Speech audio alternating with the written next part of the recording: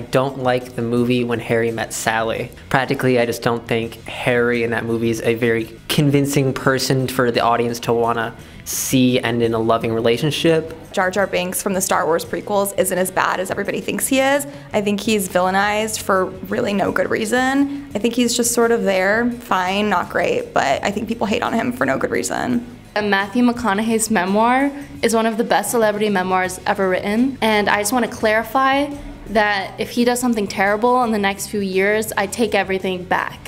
The Sam Raimi Spider-Man movies. I am a giant fan of Spider-Man. I wrote the review on Spider-Man last year, but I just I don't like the Sam Raimi ones. I think they kind of get some stuff on Spider-Man wrong. Kat Stratford from 10 Things I Hate About You isn't the feminist icon we make her out to be. She dismisses when people call out her privilege. She brings other girls down at the expense of bringing herself up, and she's also just straight up mean sometimes. The best Cinderella adaptation that has ever been made is the 2012 Nickelodeon TV movie Rags. It's the only gender bent Cinderella that I've ever seen. It is a interracial couple. It is fabulous original music. Rags stars Max Schneider and Keke Palmer, also Drake Bell, but we don't talk about him. Max Schneider plays Charlie, and Charlie lives with his stepdad and stepbrothers and is just treated like crap. And he really wants to be a singer and make music. And Keke Palmer plays plays Kadee Worth, who is like this singer superstar, and she wants to write her own music. And they meet at a masquerade ball, and he drops his mixtape, and then they have to go on like this journey to find the singer named Rags that nobody knows who that is. And it's just fabulous.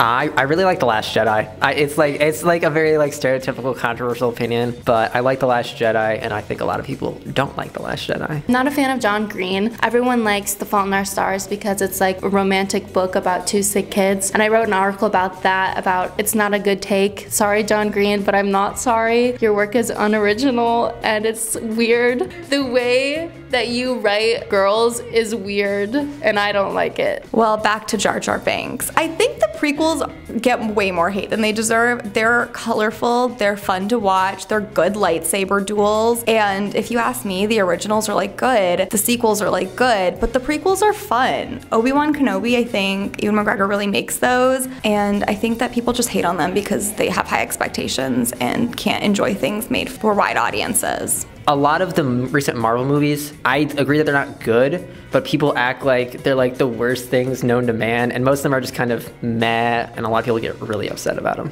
Um, I wrote about objectively bad dystopian novels and how they got me out of a reading slump, and I really love the Shatter Me series, and it gets a lot of hate and is called dumb by many people, but I think it's very good. I actually think Steve Rogers, as portrayed in the MCU, really sucks. He very stubborn and doesn't really see past his own worldview. In the third Captain America movie, he doesn't really take any time to understand the other side that he's like fighting. The other side being like his friends who are genuinely concerned about the consequences their own actions might have. When confronted with the consequences of his own sort of power, he's just like, nah.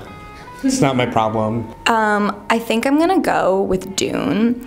I fell asleep watching it and I don't regret it and I, I couldn't tell you what I missed because I feel like nothing happened in the whole movie, so I feel like I didn't miss anything. I really don't like Dune. I, I like the movie. The movie was boring, but I, I still liked it. But the book I think is really problematic in a lot of ways. Because it was written by like a cishet white man, it has a lot of problems in the ways it talks about and treats women and sort of like people of color. Then what's a movie that everyone hates that you love? Minions. I'm not even gonna give context.